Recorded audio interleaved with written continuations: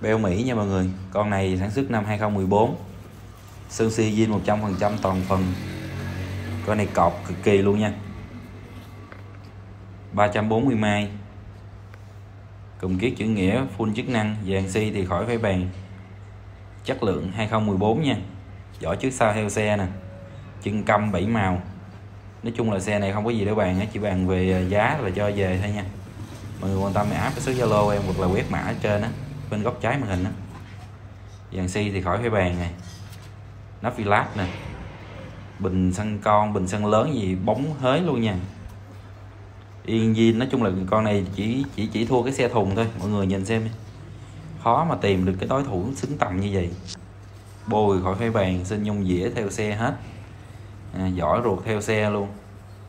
Từng 31 năm 2013 cái sườn thì 2014 nha mọi người xe này là beo Mỹ 250 2014 sản xuất Mỹ USA bình xăng thì nói khỏi phải bàn, cái con này đi cực kỳ ngầu luôn, cốp vuông, máy vuông, beo Mỹ.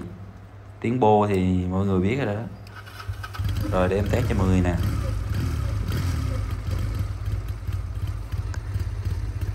Phình phình phình phình, cái bô nổ rất là hay luôn nha. Con này mà đi cà phê hay chạy ngang một cái là biết đặt chân liền. Beo beo với lại hạt lay là nó, cái tiếng bô rất là đặc trưng nha. Rồi mọi người quan tâm thì cứ ới em nha, em hỗ trợ ship toàn quốc giấy tờ thì anh em mình tự lo nha. Quét cái mã ở trên á, hoặc là áp cái số giúp lào, zalo em là được nè nha. Cảm ơn mọi người, chúc mọi người một ngày 8 tháng 3 vui vẻ bên gia đình nha. Chào quý anh chị chú sức khỏe.